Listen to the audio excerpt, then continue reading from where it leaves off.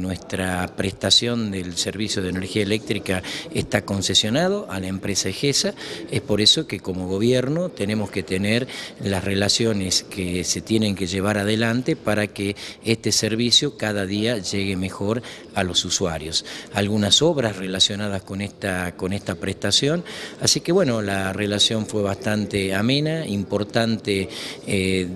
desde el punto de vista energético, cuáles son los caminos que vamos a seguir en estos tiempos este, y también este, eh, anunciar de que el día jueves y viernes de esta semana va a sesionar en la provincia de Jujuy el Consejo Federal de Energía Eléctrica, en donde van a participar todos los eh, secretarios y o ministros de energía de la provincia. Eh, va a acompañar a esta reunión el secretario de Energía de la Nación, Alejandro Roga, con quienes vamos a conversar acerca de este, proyectos vinculados con extensiones de línea, este, nuevos servicios en, distintas, en distintos lugares de, nuestra provincia. Así que bueno, esto creo que, fue una reunión sumamente importante eh, para hablar de todo lo relacionado con la prestación de nuestro servicio.